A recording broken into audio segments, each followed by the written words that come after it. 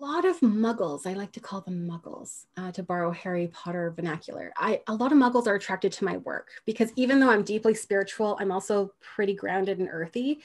So anyone who's kind of, I like to call them like the cosmically curious, they're like, hey, wait a minute, she's kind of a safe place to explore this, this woo-woo side of me.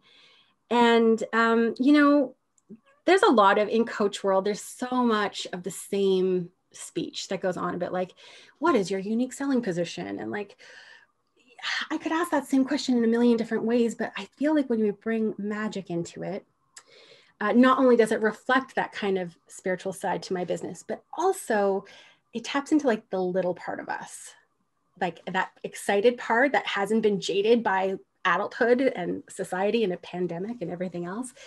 Um, so we get to be a bit more playful when we say, you know, what kind of magic do you make in the world? It doesn't, um, it doesn't box us in. We don't have to have a serious response. We don't have to have that canned, well, this is my elevator pitch.